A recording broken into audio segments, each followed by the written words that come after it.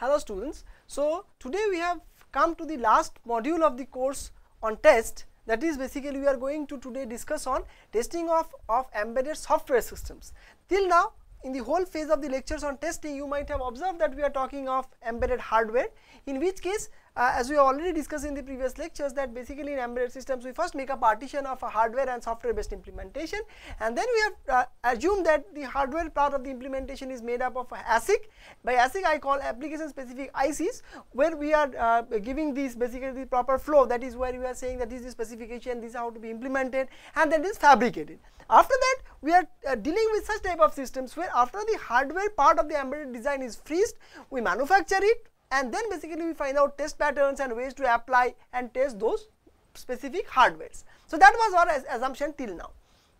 But in the last two basically lectures, I mean we cannot go to a very vast details on these two parts because these are more or less slightly uh, what do I say a newer part on embedded systems or I, I should say that basically more towards software hardware hybrid kind of uh, uh, implementation kind of stuff so, basically what we are trying to do is that in these two lectures I will try to give you some directions and thoughts that how basically if some part of the embedded systems which are built on reprogrammable hardware FPGA in that case what happens basically. So, you download or the hardware is reconfigurable. You can configure it to be an adder, you can configure it to be a subtractor, you can configure it to be a multiplier, it can be a processor. So, basically you have to write the functionalities like a Verilog code, synthesize it, but instead of fabricating it, you can download and configure that hardware and it will become the, the prerequisite or basically the wanted, you whatever the hardware implementation you wanted, it will become like that. That is what is the idea of a field programmable gate array or CPLDs or there are several other versions basically. But as of now FPGA is the most popular implementation of programmable hardware. Then basically how we should test such hardware or the programs which has been downloaded over there. That is what is the idea of these two lectures. But again as I am telling you this is all some of the uh, uh, we can say that the uh, some kind of a bit cornered part of embedded system design and test but there I should not call it design but are test because in, because mainly we are when you talk about embedded system test we rather are more interested or more the literature or the work has been towards exact hardware implementation or which is called hard fabricated chips. We are mainly concentrating on that. But a major part of paradigm shift has now been coming by using of reprogrammable hardware or embedded systems. So, towards the end we felt that we should also give you some thought and directions in which research is going on in this type of platforms.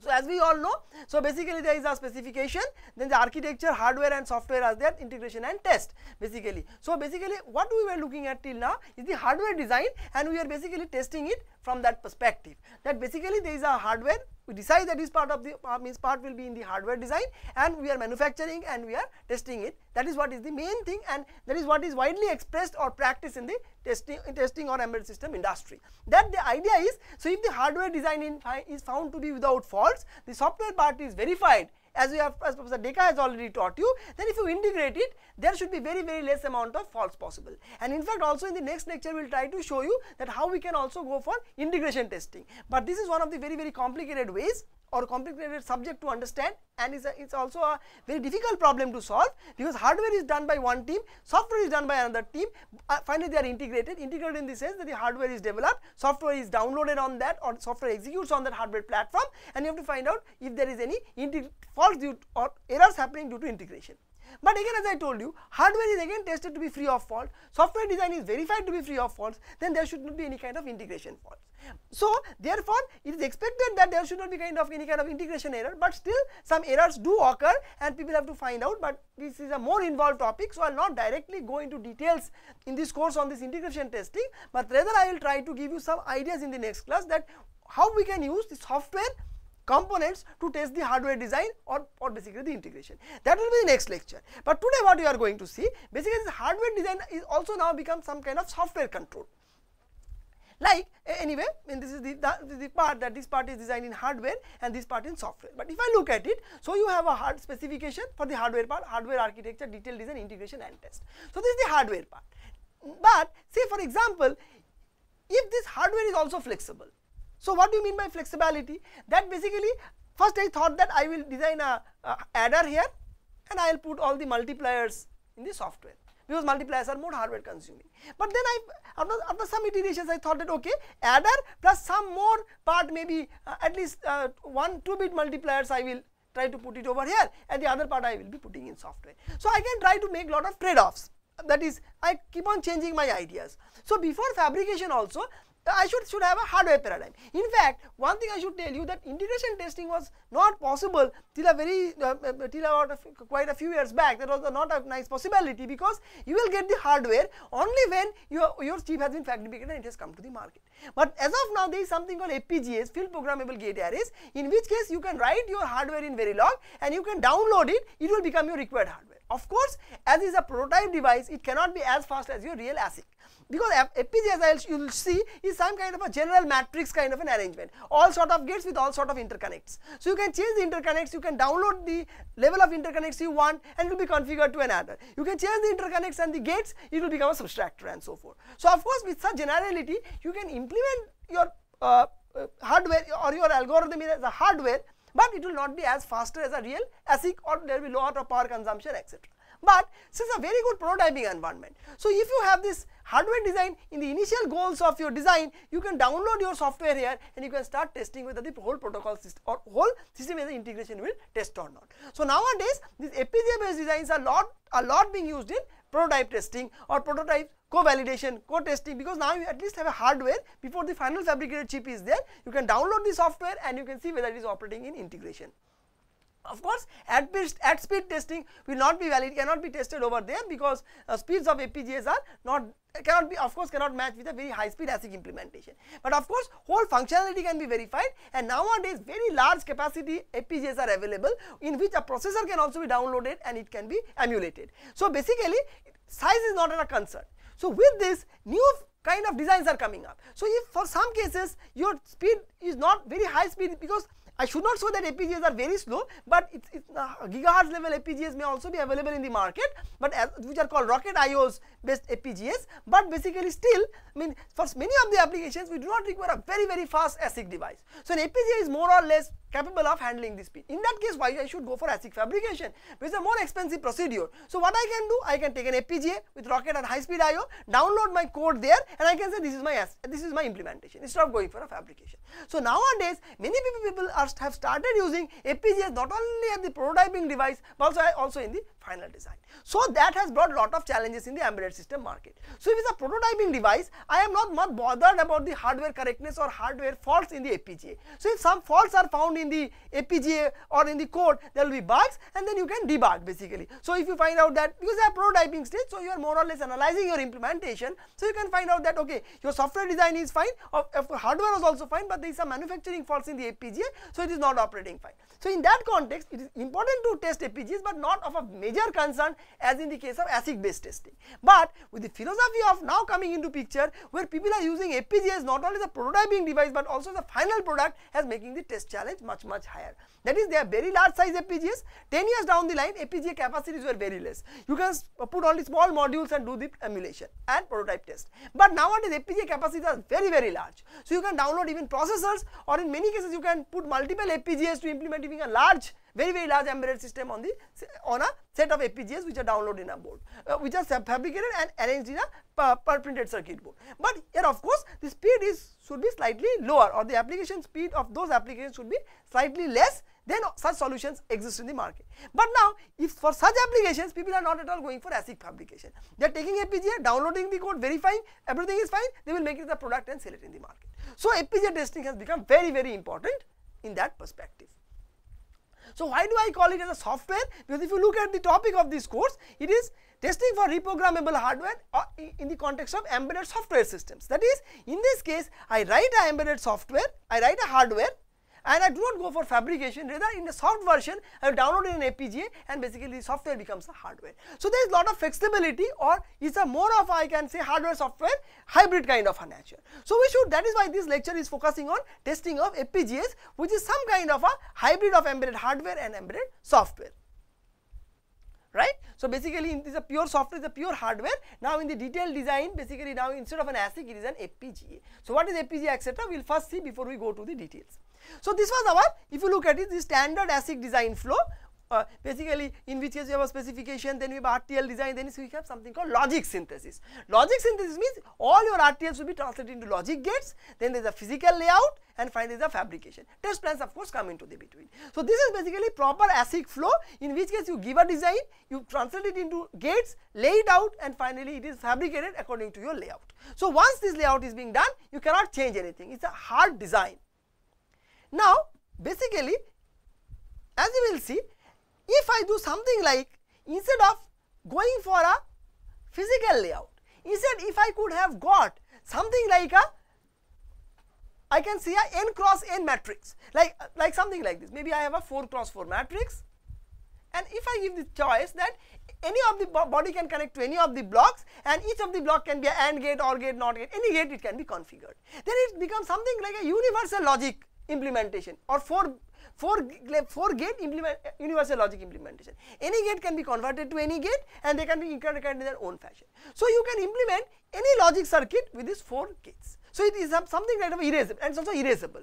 Once you download this may become AND gate, this may become OR gate and so forth and the interconnection is done. You check your implementation then you switch the FPGA off everything will be cleared then you can again download another set of gates and uh, uh, make another type of connection. It is something kind of a whiteboard. You can connect uh, any type of gates, you can do any type of connections, make it work and then you can, you can erase it. That is the beauty of FPGA.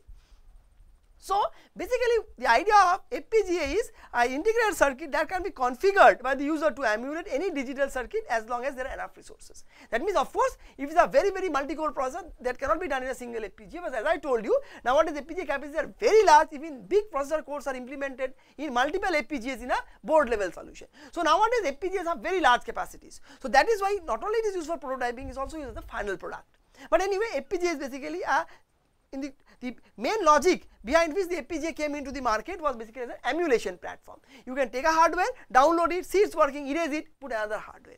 So, FPGAs can be seen as an array of configurable logic blocks means it can be configured to any type of gates and modern uh, FPGAs there are a lot of additional functionalities which can be configured like you can have a simple uh, 2 bit adder some memory blocks etc can be there. But anyway in this lecture we will be limiting us to simple traditional FPGAs or some some old FPGAs in which case basically we have it can be converted into any type of logic function. There can be a it can be converted to a sequential function and so forth. So basically FPGA can be seen as an array of log configurable logic blocks you can convert to any type of gates and with interconnect which are programmable. Because you can connect from any gate to any gate because in ASIC you tell that this is the AND gate, this is how it should be connected to the OR gate. But in case of FPGA, there is a full flexibility of n cross n connectivity is there. You can connect any gate to any gate by changing the fuses so that gate 1 gets connected to gate 2. In the next iteration, gate 2 may be connected to gate 1 and so forth by changing the matrix of connections. And any block can be converted into AND gate or gate in the iteration. So, it is a full fledged uh, reusable programmable hardware. So, you download a a bitmap or I call the connectivity and CLB configurations. It becomes one circuit, erase it, do another in down another thing, it will become another circuit and so forth. So mainly, so that is why I called it software based embedded system application. You write a code, download into the FPGA, it will be get converted. Nowadays, runtime reconfigurable hardwares are also available. This up to this point of iteration or implementation, this was an AND gate. After some time it is reconfigured it becomes an OR gate. So runtime when the uh, embedded system is running on the hardware still the hardware can be reconfigured. So again it's a very very recent development in case of FPGAs, but the one we are discussing in the lectures are non-reconfigurable runtime. That means before you you have to erase the FPGA, download your required uh, required configuration, it will become a circuit, then it will operate throughout its life. But again, if you switch it off, it will get erased, and you have to again download the new code if required. It will become another circuit, and you have to go about it.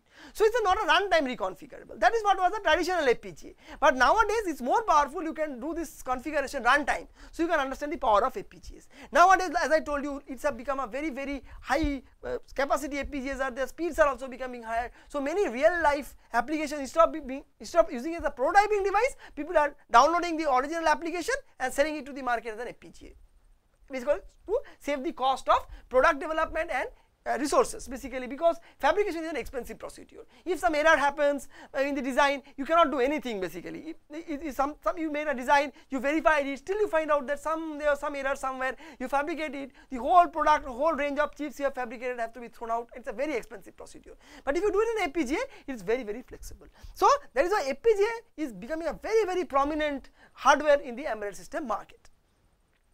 So, without telling more stories about the FPGA, let me tell you what it looks like. So, you have something called a CLB, then there is this is the interconnect because these are interconnect means if I want to connect this CLB to this CLB, it will be routed like this.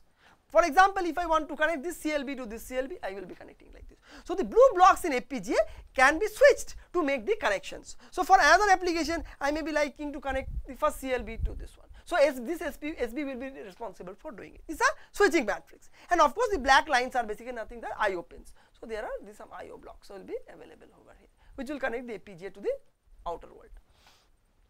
Right. So, these are very simple architecture. More figure will be clear. Let me just zoom it.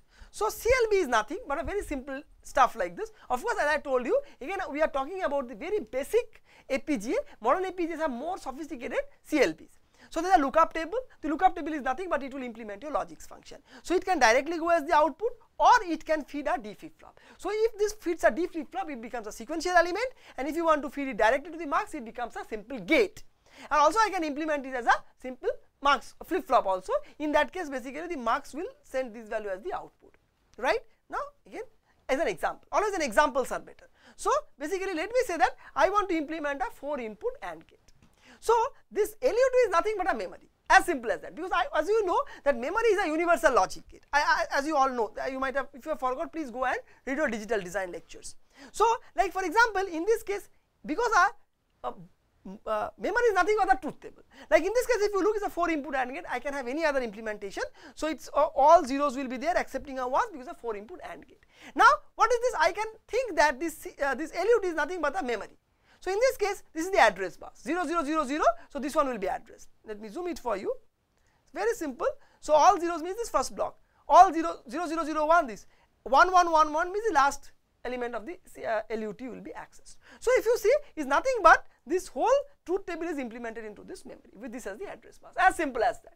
So, LUT is nothing but whatever gate or whatever logic you want to implement write the truth table and convert it into a memory and that is done. So, basically this is the address bus and this is the memory. So, it is just by the address lines you can put it up.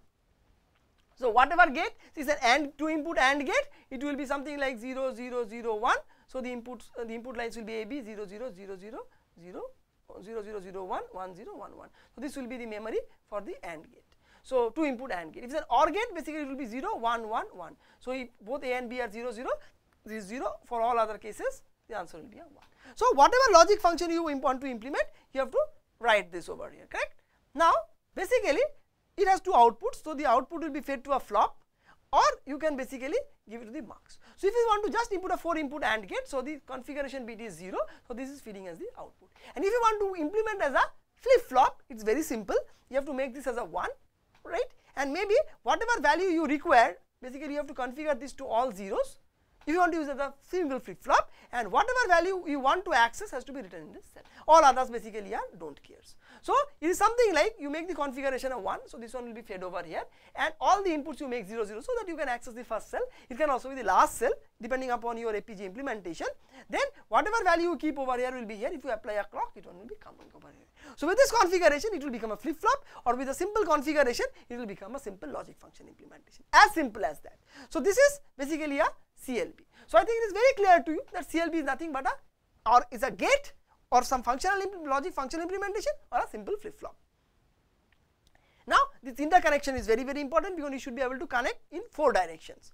So, it is something like this if you look it is a uh, pass transistor based logic. So, in this case if you see if you if this part has to be connected to this then basically this transistor has to be made 1. If it is a 1 so it will be connected here.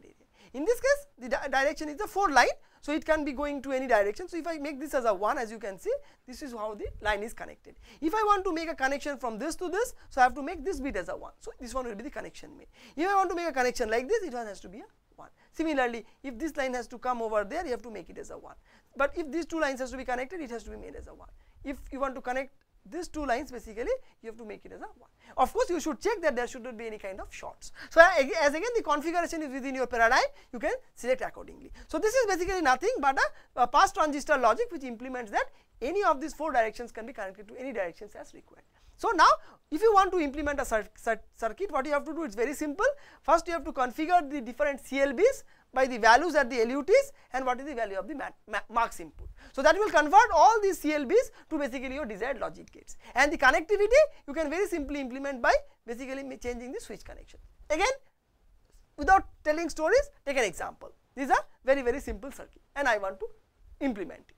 So, what I require to implement a AND gate, a XOR gate and a flip flop. So, I will try to do that. So, anyway first you have to do a mapping. So, I, uh, actually we are having a flip flop and this connectivity. So, there are some as you see that LUT can be having a gate and a flip flop together it can be a separately a flip flop or it can be another simple gate. So, in this case it is a gate connected to a flip flop. So, you can directly take it over here. Generally the idea is that as I told you generally we do not have a single flip flop. So, this situation as I told you that making all these as XS, XS making it 0 and this 1 or 0 whatever required you can bring it here with a clock rarely arises because we do not have generally a single flip flop as an implementation. All flip flops as a combinational cloud behind it. So, this is the combinational cloud. So, in this case the combinational cloud is basically a, a AND gate.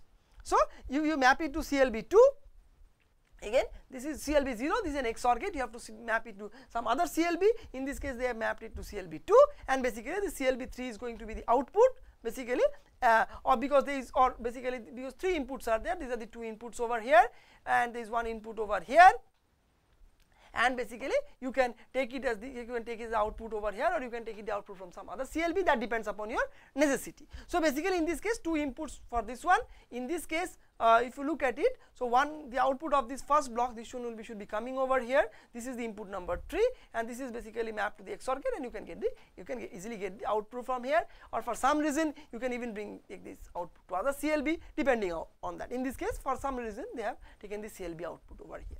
So, now how do I configure? So, simple. So, let us look at the CLB 1. So, you have to convert this one into an AND gate. So, 0 0 0 0 1 and basically this is the case. So, let me zoom it for you.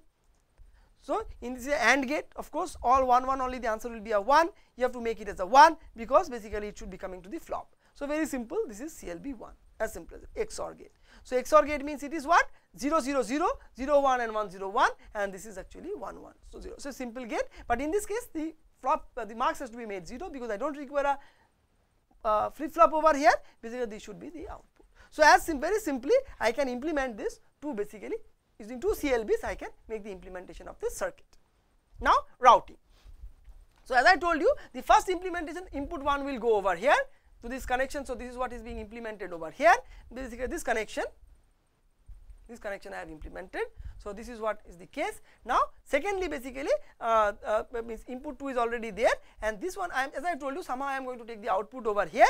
So, basically SB4 it should make a connection like this. I could have also taken the output over here, but anyway to show that two routing tables were two routing we are using. So, anyway the example I have taken from the general these are very general textbook material available in most of the textbooks on VLSI design. So, in this case they have routed it over here, but if you are if you want to take the output over here then this is not required and this is also not required. But if you want to take the output over here, so SB4 has to be made in this manner, so that basically this is as a 1 so the out this so this connection is done and basically this configuration basically is your implementation of the simple circuit like this now, what I have to do? So, you know that this is the configuration which allows to do. Now, what happens? Now, given an FPGA, you have to configure all these CLBs and SBs. You have to download the value. So, what I will do? In this case, important are CLB 0, CLB 2, CLB 3, maybe and SB 1 and SB 4. But all have to be downloaded because you cannot keep any of the CLBs empty. If they are not required, they can be XXXs. I do not believe do not understand whatever you want to down you can download, but that is not of a concern, but important is whatever I am requiring for my implementation. So, if you will see CLB 0 means 0 0 0 0 0 0 0 1 that is the content and it has stored as a 1. What is that? So, it's this one is the configuration and this one is the bit. So, it is the input basically to the LUT and Mux Mux is a 1. So, they have made a configuration like this. CLB 1 is basically if you look at an XOR gate. So, it was 0 0 0 1 1 0 that is the XOR gate and this was a 0 because the configuration was something like this because I want to directly take as the output without a flip flop. So, I will write like this. Other flip flops I do not bother basically then important is basically your SB1. So, SB1 is something like this which should be a 1. So, basically similarly in case of SB1 you share this is a 1. These things I do not bother look at much SB2, SB3 all zeros they have kept means everything is disconnected they have disconnected everything and SB4 also should be something like this. So, only one bit is a 1. So, in that case this is SB4. So, this is how the configuration has been done. So, all zeros means every it is open. So, it is not connected to anyone this is also not connected to anyone. You can download you can some make some arbitrary connections or sometimes you can keep it an open. So, in this case they have kept it as open. So, what I do? So, this is what is something called a bitmap. So, there are automated tools you tell the design this is the design I want to implement it will automatically map your designs first it will synthesize the designs it will map it to the respective CLBs and basically it will find out what switches to be made on and what switches to be made off so that proper routing is done and then they will generate something called the bitmap which will be downloaded to the FPGA and basically your FPGA will become your hardware. That is what is actually called field programmable gate array. So, why is we tell the software based implementation of a hardware? Basically because in embedded system we first partition hardware and software. Hardware was manufactured ASIC, so you cannot do much changes. Software is downloaded in the hardware and tested or used in the community. But now we call it hardware software kind of a hybrid kind of an implementation because it's a I have not fabricated a hardware, I have written a Verilog code or a hardware language code. Instead of making a hardware, I am downloading it to an FPG, it becomes a hardware which implements the software, but it is a soft implementation. Some, some of the modern FPGAs you can configure all these things in the runtime which part of the circuit is not doing its work, it can be reconfigured. That is a very modern concept. So, if any of the hardware can be reconfigured runtime, so it becomes some kind of a hardware software hybrid implementation or hybrid level of thought also basically. Hybrid implementation initially was thought as hardware is fixed, the software changes, but here the hardware software both changes. So, that is why FPGA has brought into a paradigm shift in embedded system implementation. But the course as present we are not dealing with such high end FPGAs in this course. Our case everything is predetermined, you have to just download this uh, code it will become your hard, so hardware. So, there is lot of flexibilities nowadays I mean it, it, you need not partition your uh, I mean hardware software partitioning so uh, basically uh, drastically because I mean no changes can be done after that right now with FPGAs that assumption is no longer valid after some time you find that some more part could have been gone to hardware or you can change the paradigms it is possible because FPGA is very very flexible. So, that is why in this course we are trying to look at how FPGAs are getting tested. So, anyway that tells you that what is an FPGA. So, of course, we cannot do this manually though there should be FPGA EDA tools which will provide a design environment in which case it will hide all complexity like placement, routing, bit stream generation etc. You just give the circuit it will automatically map it to the CLB respective CLBs, it will make the automatic routing, it will generate the bitmap, it will be automatically downloaded and you will get the circuit implemented. Are lot of FPGA tools like Xilinx, Mentor Graphics, uh, Altera, there are many lot of vendors, I, I think many of you may be knowing who are into this FPGA business. So, there is very simple you write the code, synthesize it, that everything is automated. So, I am saying a typical Xilinx HDL flow. So, in this case you write all the HDL files then basically some of the synthesis constants you have to give because what is the timing requirements, what is this space constraint you are putting and so forth. Basically, you take takes a target device. What do you mean by target device? Because FPGA, lot of variations of FPGAs are there. So, whether you are taking a Virtex family, whether you are taking a Spartan family, what type of FPGA configurations you give, you have to tell that in this FPGA I want to synthesize basically or implement because some of the FPGAs are large, somebody have small, somebody are high speed. So, you have to tell which FPGA I want to use, then there will be it will be synthesizing your circuits not in terms of gates, but in terms of LUTs on the target device. Then basically what you have to do with this target because now you have all the LUTs targeted then basically uh, there is an automatic map and place route so, this is actually synthesis flow. In the ASIC synthesis flow, basically you get a gate level implementation. Here you will getting a CLB level of implementation.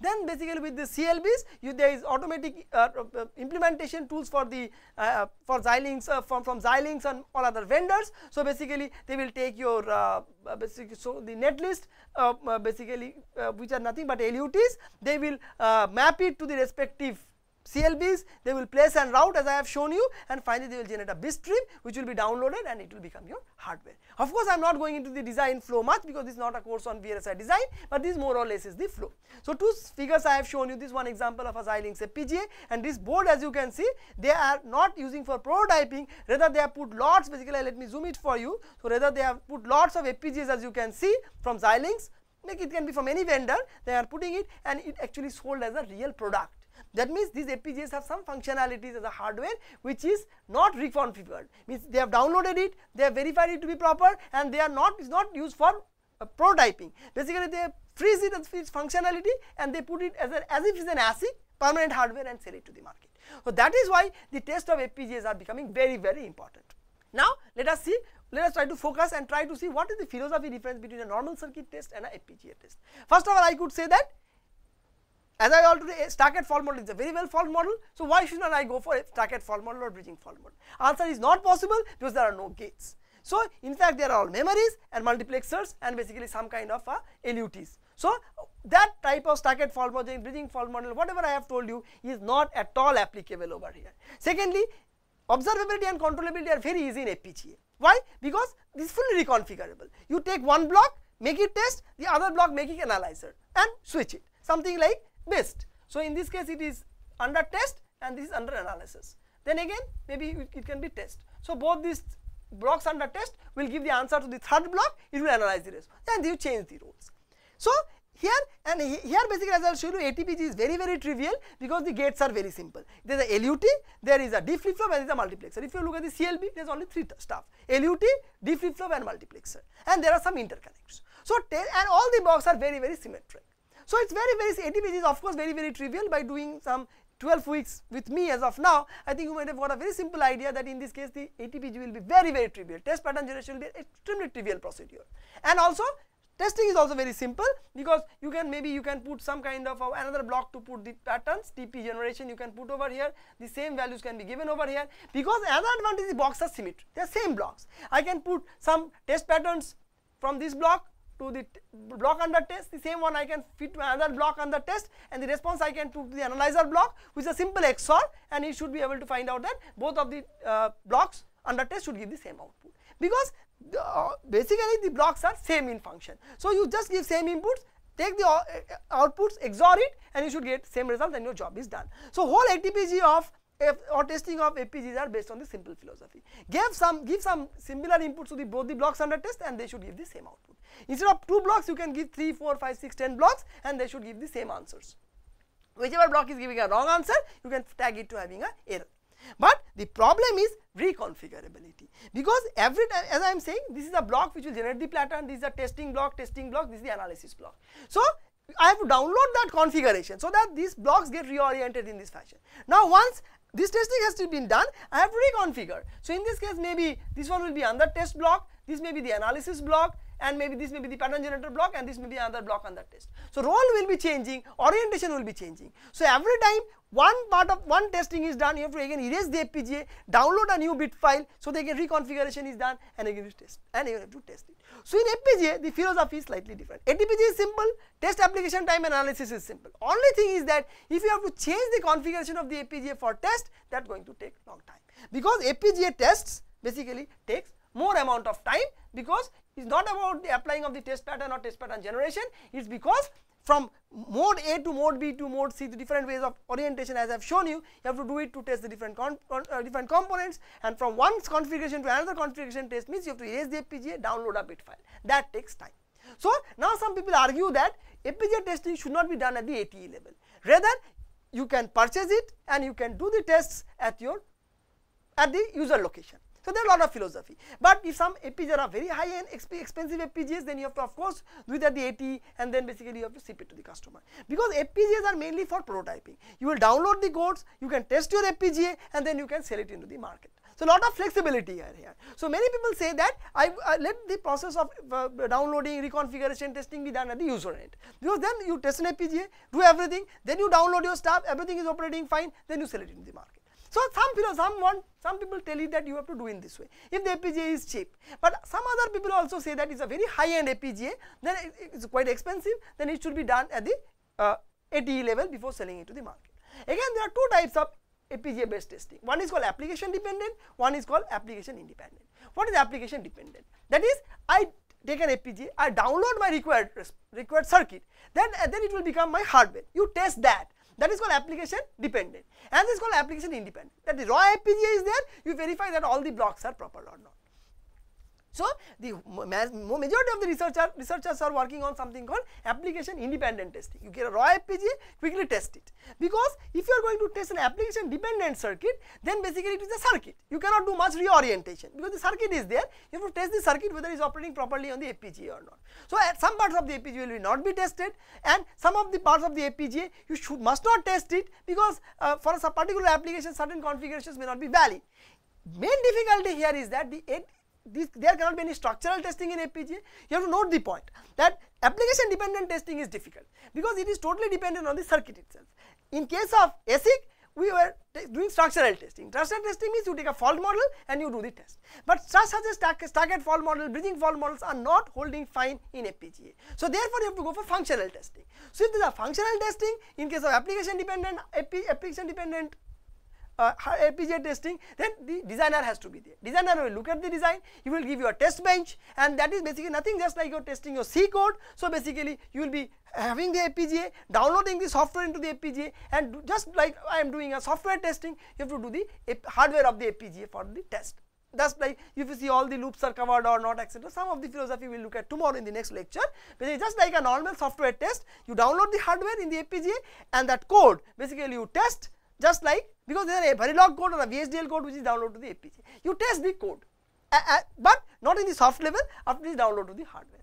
So, therefore, uh, it is a kind of a full software based testing more or less a software based testing and you require full designer knowledge for that because uh, stuck-at fault models or the bridging fault models which we know basically are no longer that way validated much valid over such kind of application dependent test. But most of the test engineers are interested in application independent test. What is an application independent test? Raw FPGA, test it. So, therefore, test engineers are more interested on that. Today, we are going to look at application independent test.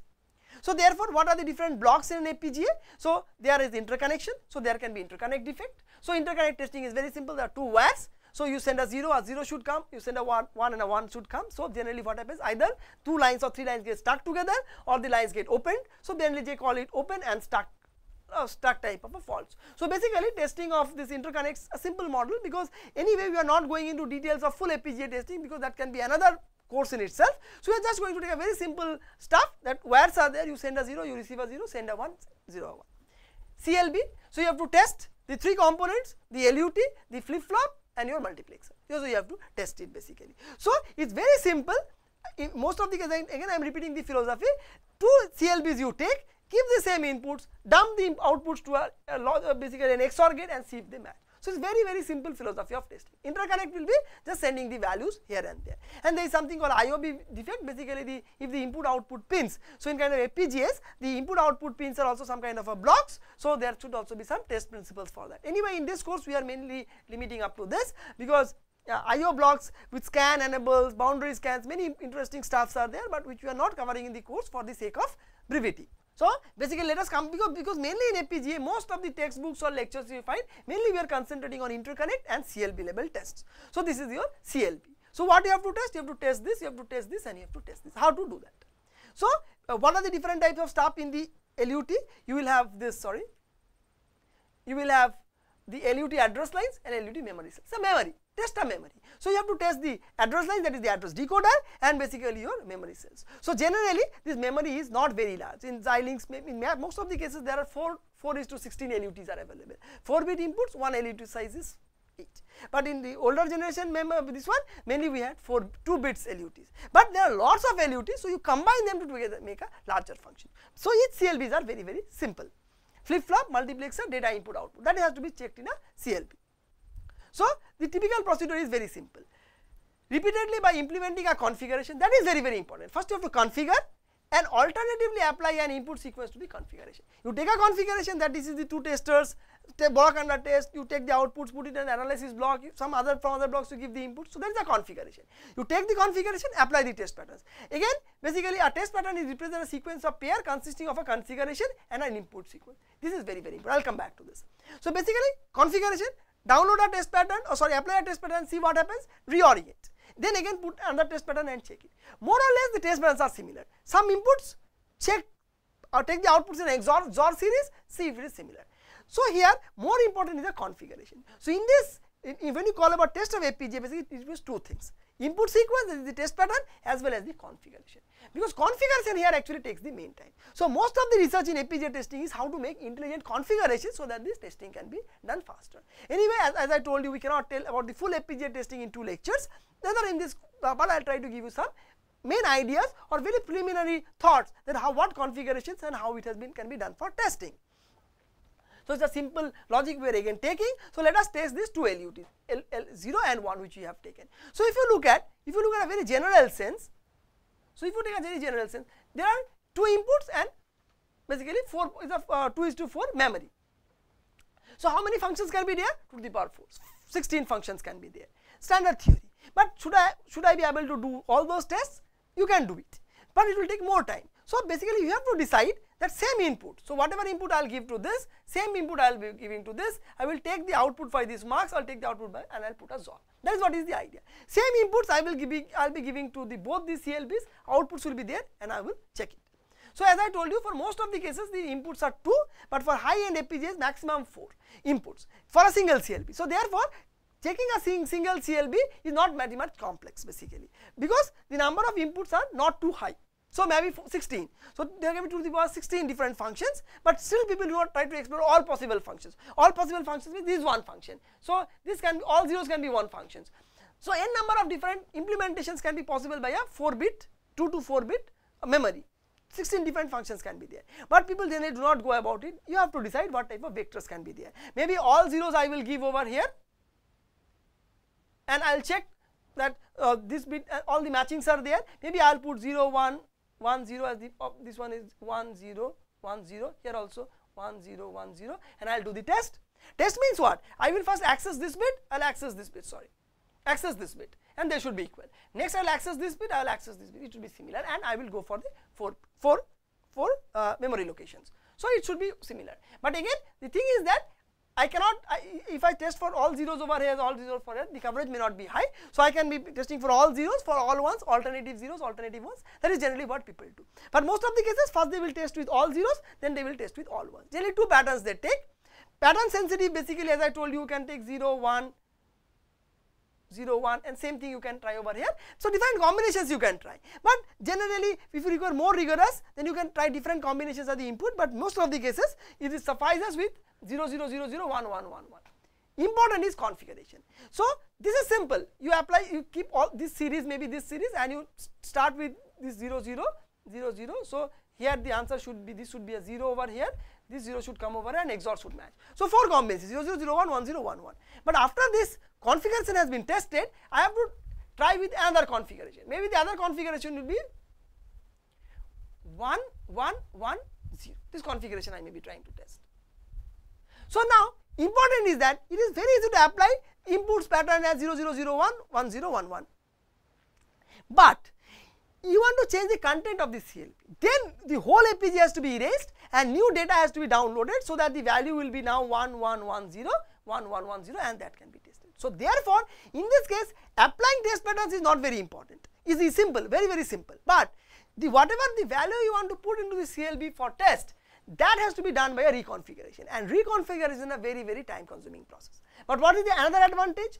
Another advantage is basically FPGA different CLBs can be tested in parallel. So, maybe these are actually the n cross n quite large FPGAs happen.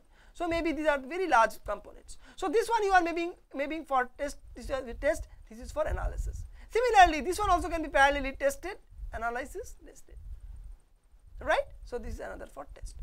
So, the idea is that the FPGA can the CLBs of the FPGAs can be divided into chunks and basically they can be actually parallelly tested or concurrently tested. That is why testing is fast. If it would have been the case that you have to take two, two CLBs, test it, erase it, again download another pattern, test it, then it would have taken years to test the FPGA. So, the advantage of FPGA is concurrent testing, which is not possible in a uh, what do I say in a, uh, in a uh, normal ASIC. Whole ASIC has to be tested together in sequence. But in this case, you make a cluster of different CLBs of the FPGAs which have to be tested, and for each of the clusters you can test parallelly, like the example I have given you. Now, once maybe with this sequence you have tested, you have to try for a different sequence or different combination in the LUT. Then you erase the whole FPGA, download different configurations, maybe with the same clustering, but you change the values. So that is why it is not very difficult if you think that it will take a long time to test the FPGA because if you have tested for one sequence then you have to test for another sequence everyone means this input combination can be given externally which can be very fast. But this is what is the content also should be changed. Changing that content means reprogramming that may take a long amount of time. But again thanks to the FPGA architecture things can be done concurrently. One set here, one set here, one set here you make a cluster of the CLBs who are to be tested and who are to be analyzed, make some common clusters and test in parallel.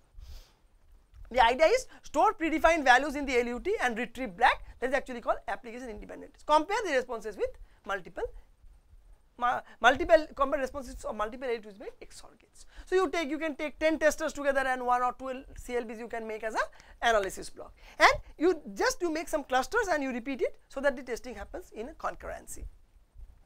How you can take the D flip flop is also very very simple.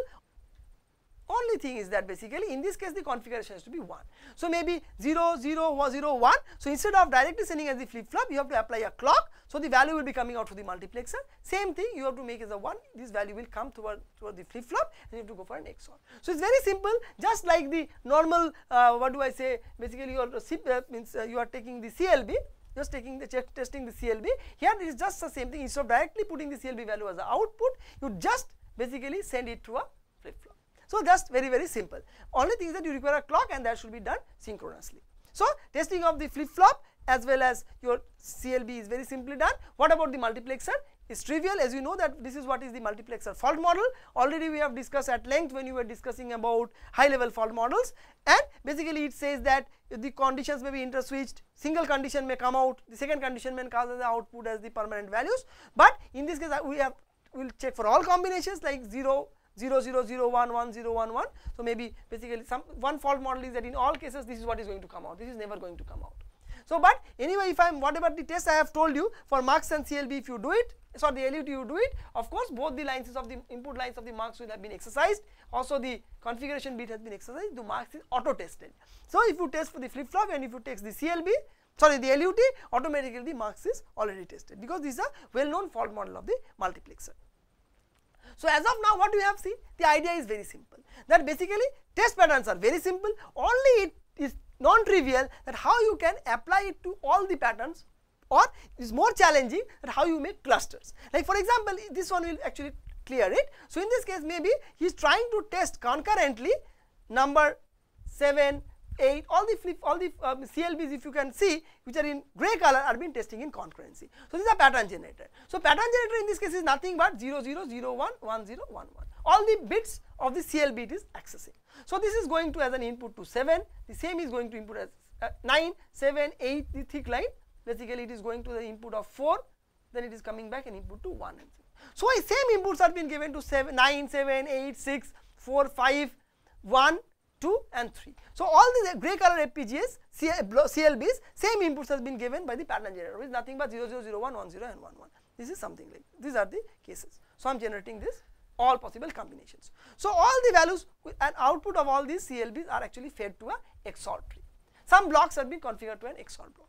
Every, if everything is normal, everybody should give the same output which has been told as the LUT. So, if everything matching, all the XORs are 0, fine. Any error, somebody, some of the some of the values are different, there is a problem in the CLB. So, maybe I can, this is one way of testing it. Some, some of the CLBs I am converting into XOR gates which are not tested. These are the analyzers and the pattern generator, some of the CLBs I am using to generate the pattern analyzers, it is called the PG.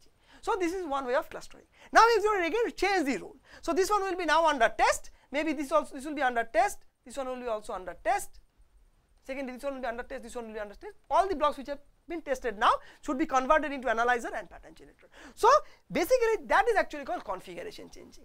Again repeating in case of FPGA testing pattern generation and application is very simple. Same patterns you apply to multiple blocks you should get the same answer and there can be an XORing to do it. But again again you have to reorient among themselves to change the 0. So, you have to do reconfiguration. Reconfiguration means erase the FPGA, download the bit file which takes actually takes time. So, here the philosophy is slightly different.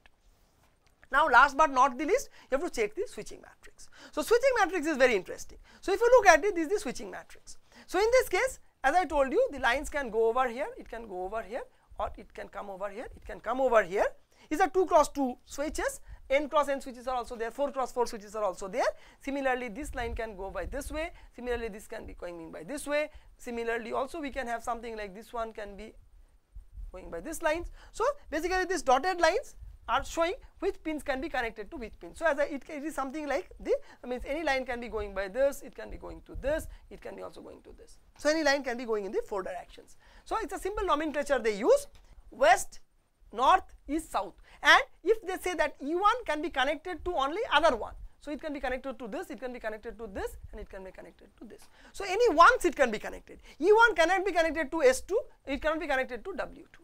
So, that is a simple way of handling By, and similarly for all like n1 can be these bold lines you can see n1 can be connected to here connected to here connected to here. So, n can be going in the three directions possible. So, for all the nets the same thing is possible. So, the 2 by 2 switch 4 by 4 switches are also available 1 by 1 switches are also available right. So, in this case it can be connected to any of the 4 directions. So, the all, all the numbers with same numbers are called connecting pins and where it cannot go like E1 cannot be connected to S2 they are called non-connecting pins. Now, I have to just do see whether this connectivity matrix as well as the interconnects are fine or not. It is very simple you make a connection all possible connections you make and then you apply zeros and ones to get it. Now you may think there is a quite complicated type of connection lot of connections can be possible lot of permutations can be possible. Interestingly no basically before going to that let me tell you the fault models one is called the permanent connection and one is called the uh, permanent disconnection. So what do you mean by permanent connection that means these two will be permanently short. You cannot remove the connection. Permanent disconnection means you want to make this connection, but it will not be connected. So, this may be between the compatible lines. So, to do these are two compatible lines N1 and S1 may be directly connected or you may not be able to connect any point of time. Also there can be a fault, there is a permanent fault kind of a thing if say this one gets connected to this. Although I do not allow N1 to connect to S2, it can also be connected to this point. That is, that can also be an error. So, this is called permanent connection a short between any two non-connecting pairs and between two compatible lines there can be uh, open. So, you want to connect is not connecting and permanent connection means you want to open it, it is not opening. Now, very interestingly all combinations must not be tried or rather need not be tried. Only by three configurations everything is possible. What are the three configurations? It is called orthogonal, you are by straight, one is by diagonal and this is called actually diagonal 2 type of a connection. Why 3? Basically if you look at this point can be connected to here, this point can be connected to here or this point can be connected to here. There are only three ways a connection can be possible similar for the all other nodes. So, I should be able to see if all the possible connections are exercised properly or not. That means, I will give a 1, I should get a 1, I should give a 0, I should get a 0, that is it. Similarly, 0, 0, 0, 0, 1, 1, 1, I should be able to repeat it for all. So, Sequentiality again the beauty of FPGA testing is that sequentiality is not required. Parallelly I can check 0 0 here also 0 0 0 0 I should be able to get it. Similarly I will parallelly I will put 1 1 I should get a 1 I put a 1 I get a 1 I put a 1 put a 1 I get a 1 I get a 1. Similarly sorry I can get it parallelly. So in one configuration all such connections will be checked. Next I will go for this connection and apply parallel testing putting all the 1, 1, 1, 1, 1 and get the value, put 0 and this is another connection. So, by three connections, three different configurations, I will be able to test the all types of faults, permanent disconnection, permanent connection. Permanent disconnection means what? You apply a 1 over here, basically you are it is disconnected, you are going to get a 0 over here and that is actually called a disconnection based test right. So, I am not going into the very detailed theory why only these three there, there have been formal proofs that tells that by only these three connections you can test all the different type of fault models in case of these interconnections, but I think I have been able to give you a philosophy that a point can be connected to either this or this or this and I, by applying zeros and a ones if properly they are being transmitted to the counterpart all faults are basically kind of tested and I can do it in concurrence. This one this configuration, this configuration and this configuration are three different configurations, but I can take this line, check this line, this line, this line in one go. Similarly, this, this, this I can test in one go and these four I can test in one. That is the beauty of FPGA test. You can apply concurrency. Now, this has been shown basically in this slide that what is simple that is a sender and a receiver. You send a 1, you should receive a 1, you send a 0, you should receive a 0, then you can open and all, you are not going to get it. That simple analysis can be done. So, this may be one CLB, this may be another CLB, this is pattern generator and this is pattern analyzer. So, similarly, this can also be PG, this can be P. So, just you send one zero then your job is basically done. Of course, there are bridging fault models also there that if these two lines are bridging and all. So, advanced fault models also do exist for this kind of interconnect test. So, slightly complex test patterns will be applied, but again the interesting fact will be very much much simpler compared to normal combination or sequential ASIC. Only problem is that whenever you have to go change to go from one configuration to another to another configuration to another, it will take time because FPGA has to be erased, new bitmap has to be downloaded. But test application is very simple because all these LUTs, whatever these blocks, all the blocks which are being placed in different parts of your FPGA can be that uh, connectivity blocks can be tested in That is what is the beauty. Disadvantage is configuration changes are required, it takes time. But beauty is that lot of concurrency can be possible. Like here I have shown you this one example, which and some sometimes people also call scheduling. Con, uh, this is uh, uh, uh, test application as well as scheduling, configuration and scheduling basically. For example, say you can see that this guy is giving us input, this guy is giving the output and this guy is going to test it. Similarly, this is also giving an input to this, this guy is blue are under test and this guy is actually doing the analysis. This is under test, under test, under analysis. So, basically it is being test, it is testing. So, basically it is analysis, it is analysis. So, this is one configuration. In the other configuration, just the roles are reversed. So, you have to properly configure and properly schedule that which node will be in test mode and which node will be in uh, the analysis mode. And you can see because of the symmetry, similar test patterns can be given and lot of parallelisms can be obtained. So, there is uh, this one way of testing. Some people also thought in the other way which is called global input output.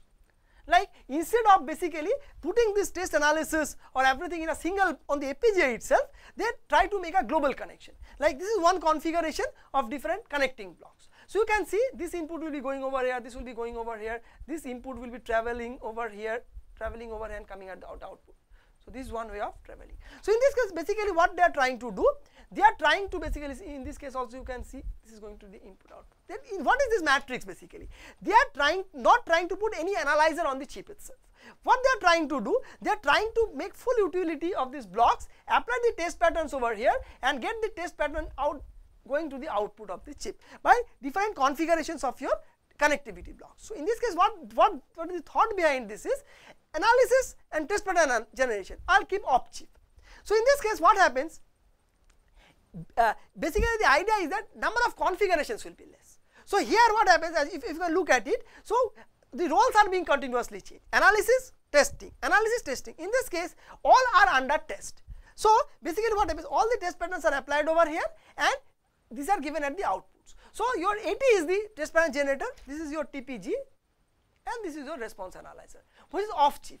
So, in this case the number of test configurations will be less, but again uh, nothing is a magic in any any science. So, in this case what happens basically test pattern generation is complex, there can be lot of controllability observability problem just like because has now become a combinational or a sequential circuit because test patterns are applied from the output uh, input and the out and the uh, values go out the out output and you have to go a match in the ATE. Now, normal it becomes a normal sequential or combinational circuit test. Problem here is that there is no standard fault model like your stuck-at fault model or bridging fault model etc. So, even if you say that con configuration and global IO you can use a technique where you can, can you should not change the roles like in the previous approach basically some block is tester, some block is analyzer. So, in this case to avoid such reconfiguration all the inputs are given from the AT, proper routing is there and all the answers are thrown out of the chip so that you analyze outside.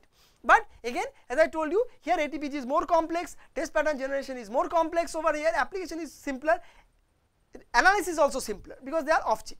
But test pattern generation and basically what values to give or controllability and observability is a major problem because there is no standard stack, stack fault, standard fault model. This is a more challenging way of handling it. But still I just mentioned it to you because this was another direction of thought that if I try to bring every output to the output world and try to do the test. The major problem as I told you, uh, uh, again one thing I forgot here basically in that case, here th this type of circuit is more suitable this type of architecture is more suitable if you are testing for a application dependent FPGA. In this case, your one of the beautiful thing we found out of the FPGA testing was a symmetry. Same pattern can be applied to all. So that was actually bringing up the beauty of concurrency based test. But if the application dependent circuit, such concurrency will not be there because all the modules will be implementing different different functions. So in this case, maybe this global sending the value, taking out the value will be a easier way of solving the problem. But again repeating this is not as simple as you are doing in normal, normal sequential and combinational ASICs because there is no standard fault model. So, with this we come to the end of this lecture. So, what we have found ATPG is very trivial in case of FPGAs, same for all LUTs or all kind of this routers. So, it's simple parallel testing.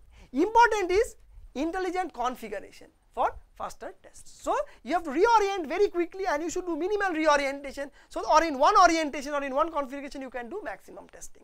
So, that is why many people and of course, it's more or less a BIST kind of an architecture because on chip uh, test pattern generators and resources are on chip. Some of the CLBs are configured, some of the CLBs are actually configured into test response analyzer. So, basically FPGA's testing is some kind of a BIST in itself. But still as a, and again as I should mention in the end that this type of architecture in which case the inputs and outputs are from the external world in a FPGA are basically mainly applied for application specific or application dependent FPGA. So, with this we come to the end of this lecture and I should again tell you that we are here in these two lectures we will be just showing you the tip of the iceberg because embedded system based or programmable devices based FPGA implementation is slightly a newer concept and lot of work has to be still done or is being undergoing. So, we are in these two lectures we are not going to the entire picture we cannot give you, but rather we will try to show you in if you are having reprogrammable or hybrid kind of software hardware co-implementation in FPGA in which direction or what is the paradigm shift required. So, with this we come to the end again and the next lecture we will try to see something more on testing of application dependent FPGAs or if you have a, some kind of a processor in the FPGA or in the hardware itself, how it, the software implementation can be used to test itself. So, thank you.